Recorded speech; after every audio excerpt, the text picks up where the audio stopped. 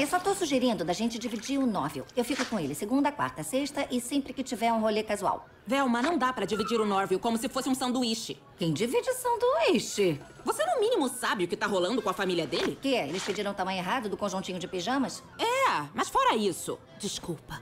Eu prometi pro Norville que não falaria disso com você. Comigo? Mas o Norville sempre me conta tudo. Eu tenho que ir. O Norville vai ficar chateado de você saber que eu sei. Tchau, tchau. Ah, aquilo, peraí.